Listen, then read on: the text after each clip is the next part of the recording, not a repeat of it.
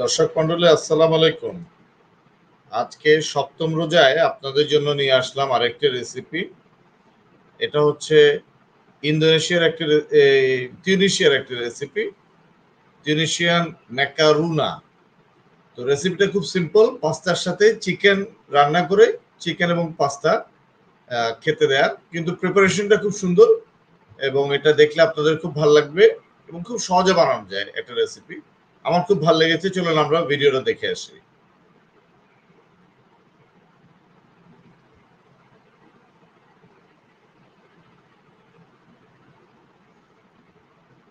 Basically এখানে pasta লাগবে chicken লাগবে চিকেনের সাথে পাস্তা দেওয়ার পর এই যে ফাইনাল ডিশটা এরকম হবে।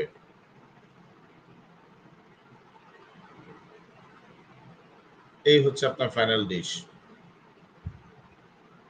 পাস্তা থাকবে, চিকেনের বড় একটা পিস থাকবে।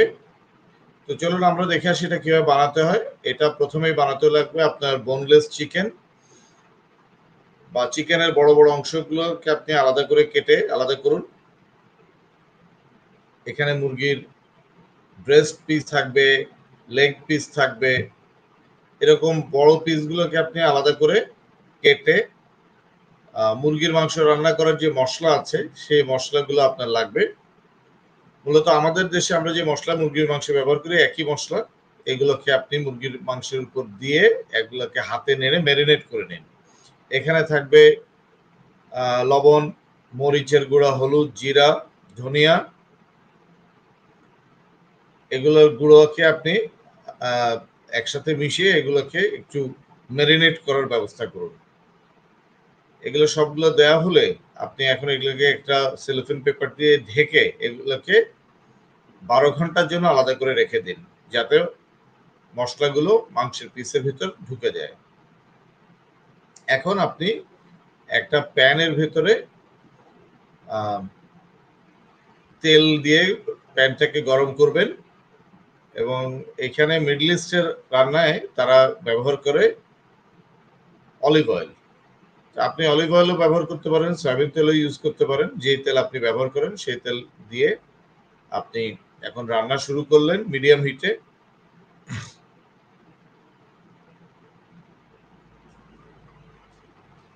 এরপর আপনার বিভিন্ন মশলাগুলো দিতে হবে। প্রথমে আপনি দিবেন টমেটোর পেস্ট। আপনি টমেটোর পেস্ট বা কাটা টমেটো দিতে পারেন। এখানে তিন চামচ টমেটোর পেস্ট দেওয়া হয়েছে এবং এটাকে তেলের উপর এখন আপনি হালকা নাড়াচাড়া করবেন। যাতে সম্পূর্ণ পেস্টটা তেলের উপরে মিশে যায় এবং এটা জমাটটা ছাড়ানো যায়। এটার উপরে আপনি বিভিন্ন মশলা দিতে থাকবেন। পেস্টটাকে একটু নেড়েচে দিন। তেলটা গরম হলে পেস্টটা একদম মাখা মাখা হয়ে যাবে। এখন এই টমেটোর পেস্টের উপরে আপনি রসুন তারপর মরিচের গুঁড়া, জিরা, অন্যান্য গরম মশলা পর্যায়ক্রমে দিয়ে মাখাতে শুরু করুন।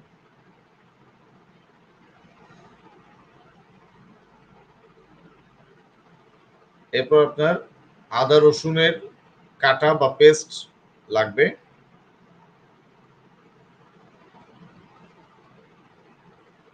এখন সে চিকেন পিসগুলোকে এই টমেটো পেস্টের মধ্যে দিয়ে দিল এবং এটাকে পুরো বডিতে যাতে মাখায়, এই জন্য সুন্দর করে মাখিয়ে দিল এবং এই জন্য ঢাকনা দিয়ে দিল। দশ মিনিট পর দেখেন চিকেনগুলোর গায়ে টমেটোর পেস্টগুলো একদম লাগানোর পরে এখন আবার নতুন করে গরম মশলা দিচ্ছে। এই সবগুলো গরম মশলা আমি একটু আগে যা বলেছি, এগুলোই আপনি স্বাদ মতো দিবেন, তেজপাতা দিবেন। এখানে তারা দেখিয়েছে, তারা ডাবলি দিয়েছে। ডাবলি আগের রাতে বা ছোলাও দিতে পারেন, আপনি ভিজিয়ে রাখবেন এবং নরম করে ফেলবেন। এক রাত ছোলাকে ভিজানোর ফলে বা ডাবলি যদি থাকে ডাবলি ভিজানোর ফলে এটা নরম হয়ে যাবে। এটাকে আপনি মাংসের সাথে দিয়ে দিবেন। বাংলাদেশের সিলেটেও মাংসের মধ্যে বা বিরিয়ানির সাথে ডাবলি ইউজ করে। এরপরে আপনি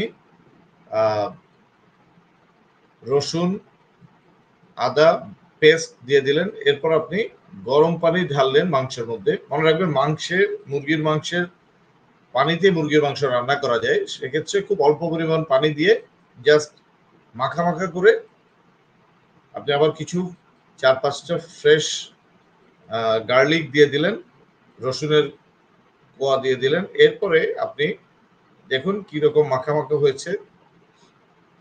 মুরগিটা আরও দশ মিনিট চুলের উপর থাকবে। এখন আপনি একটা আলুকে কেটে দুই পিস করে দিতে পারেন বা আপনি আরও কিউব করে আরও বেশি পরিমাণে আলু দিতে পারেন। মুরগিটা রান্না হচ্ছে। এখন তারা যেটা করল, আবার একটু নেড়ে চেড়ে দিচ্ছে। এখানে খেয়াল রাখবেন ডাবলি বা বুট আপনাকে দেখে, দেখতে হবে যে এটা নরম হয়েছে কিনা, সিদ্ধ হয়েছে কিনা। এখন একটা বড় মরিচ দিয়ে দিল। আমাদের দেশে এরকম মরিচ পাওয়া যায় না। আমাদের দেশে এরকম পাওয়া যায় ক্যাপসিকাম। আপনারা এরকম সবুজ কাঁচা মরিচও এরকম ফালি করে দিতে পারেন। এটা হচ্ছে ফ্লেভার দিবে। এবার ঢাকনা দিয়ে ঢেকে দিন। মুরগির মাংস রান্না হচ্ছে। মাঝে মাঝে উল্টে দেখুন মুরগির মাংসের অবস্থা কি।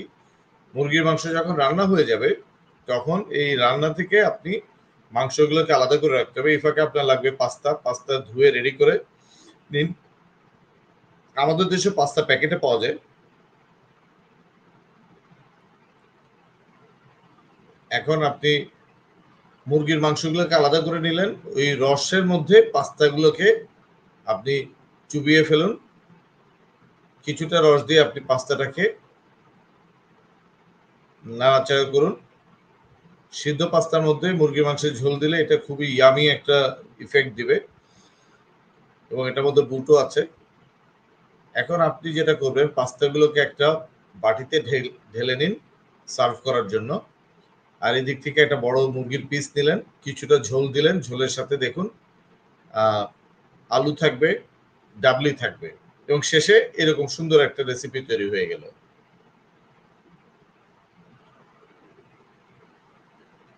কি সুন্দর একটা রেসিপি ধরে ঝটপটের রেসিপি ঝটপট রান্না হয়ে গেল। তাহলে দর্শক মন্ডলী দেখে নিলেন টিউনেশিয়ান ম্যাকারুনা এটা বেসিক্যালি পাস্তা সিদ্ধ করে পাস্তার উপরে মুরগির পিস দিয়ে এবং মুরগির ঝোল দিয়ে সার্ভ করে দেয়া। এর উপরে যদি আপনি টপিং হিসেবে সস বা মেয়নিজ দিতে পারেন, বাচ্চারা খুব পছন্দ করবে। আমার তো দেখে খুব ইন্টারেস্টিং মনে হলো, ইফতারে এইরকম একটা রেসিপি খুবই ভালো লাগবে। খুব ঝটপটে রান্না করা যায়, বেশিক্ষণ লাগবে না। আশা করছি যে এই রেসিপিটা আপনাদের পছন্দ হয়েছে এবং আপনারা বাসায় এটা প্র্যাকটিস করে দেখবেন। এটা অত্যন্ত চমৎকার রেসিপি আমরা এই রেসিপিটা পেয়েছি টিউনিশিয়ান একটা সাইট থেকে। তো এই রান্নাটা আপনারা করে যদি আপনাদের ভালো লাগে, তাহলে আমাকে কমেন্ট করে জানান।